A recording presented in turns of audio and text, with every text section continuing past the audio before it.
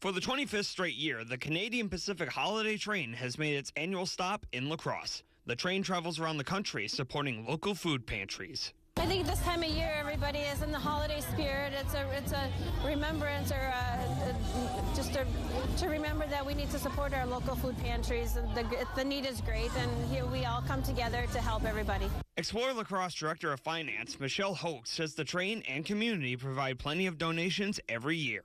We bring in hundreds of pounds of food and, and monetary donations in the thousands of dollars. So it's it's wonderful to see that everybody sees that there is a need and is willing and help to help our, our neighbors. Hoke also says that many people come from all over the Coulee region every year to see the train. It's amazing. We get people from all over the area, and what, what surprises me is because we have the last stop of the evening. It's nice to see so many people come out on a on a nice like the night is beautiful. It's it's great. We have people on the bridge, the overpass here, and on both sides of the, the tracks tonight.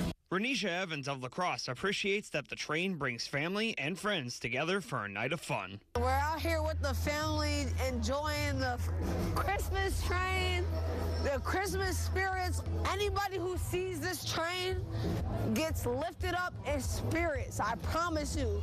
Kids, adults, it doesn't matter. Everyone gets lifted up in spirits. Simple as that. Even though the train showed up in La Crosse late in the evening, it didn't stop people from coming out and enjoying it in the spirit of the holidays. In La Crosse, Dasha Menzel, First News at 9.